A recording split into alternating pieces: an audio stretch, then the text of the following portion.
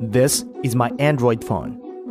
It never leaves my hand for long, as I play with it all the time. The only thing that frustrates me is the cramped memory, which always makes my phone sluggish.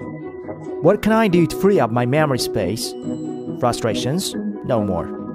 I just got Clean Master, a must have app for Android phones. During regular use, some cache files occupy my Android phone's memory to slow it down.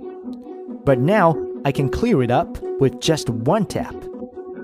When I uninstall apps, some data still remains on the phone, cleaning these residue files that can clear up GB's worth of space. Oh, it is better to uncheck my movies and music files, which are my favorite. I also don't want others to know what I'm doing while browsing my phone. The Privacy Eraser helps keeps it top secret. I use so many apps that have some unwanted tasks running in the background.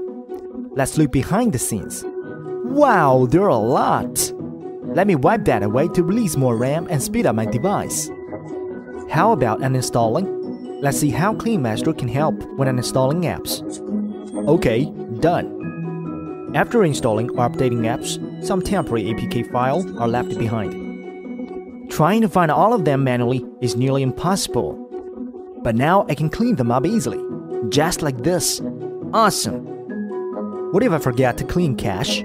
Oh, I found Clean Master can remind you. Just set a reminder interval. Easy, huh?